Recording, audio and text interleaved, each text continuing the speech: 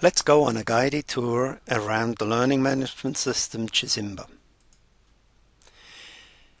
If you fill in in your browser the web address elearning.polytechnic.edu.na, you arrive at the Chisimba entrance.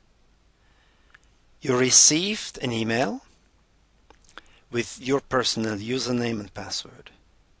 You may enter these items here and click Login. Now you arrive at the entrance hall of Chisimba. Here you find a few features. You may for instance change your profile or you directly select the course, our course called Teleteaching, and click Enter Course. Now we are in the course. Read the welcome page and then to enter click Start. On the left side you find all the chapters of the course and the content of the corresponding chapters. You read for instance the overall view of the course, you scroll down and then you may select course schedule. Here you find information about the course schedule. Here we are at the first live event. You notice that there are documents, course overview, Chisimba manual, and so on. You can click on these blue words.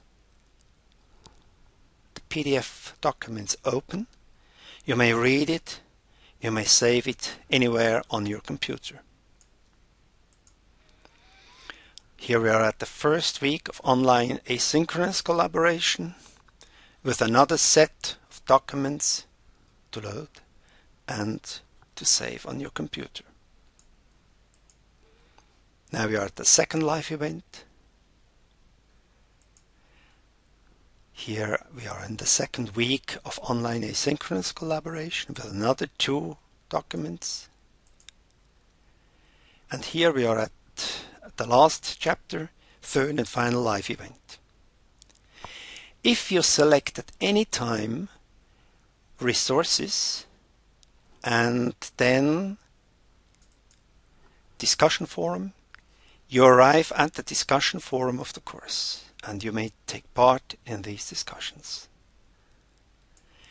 You see that in Chisimba there are many more features, but we discussed the most relevant elements that we will use in our course. Thank you for your attention.